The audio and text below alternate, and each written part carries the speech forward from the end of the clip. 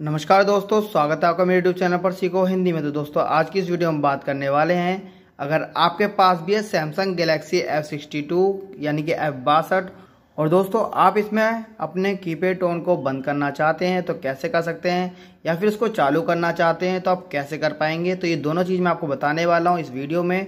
तो बने रहिएगा मेरे साथ। सबसे पहले आपको ओपन करना अपने फ़ोन के डायलर पैड को।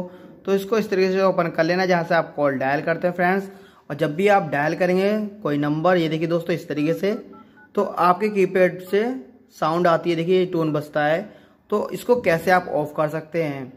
तो इसको ऑफ़ करने के लिए फ्रेंड्स आपको ओपन करना है, यहाँ पर कॉर्नर के साइड में थ्री डॉट्स ये बने हुए, इसको टच कर लेना है। इसको टच करने का दोस्तों, आप देखेंगे कि फोर्थ नंबर पे एक ऑप्शन है सेटिंग का तो आपको इसको टच करके ओपन कर लेना है।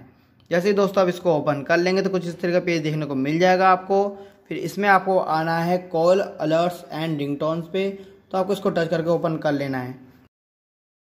तो दोस्तों, अभी हमारे फ़ोन में कीपैड का जो टोन है, बज रहा है वो इसलिए क्योंकि हमारे यहाँ पर आप देखेंगे तो play sound for keypad taps तो इस पर हमारा ये ऑन है। तो आप इसको ऑफ़ करना चाहते हो तो यहाँ से इसको ऑफ़ कर सकते हैं। और अगर आपके फ़ोन में ऑन नहीं है, आप ऑन करना चाहते हो तो यहाँ से आप इसको ऑन भी कर सकते हैं।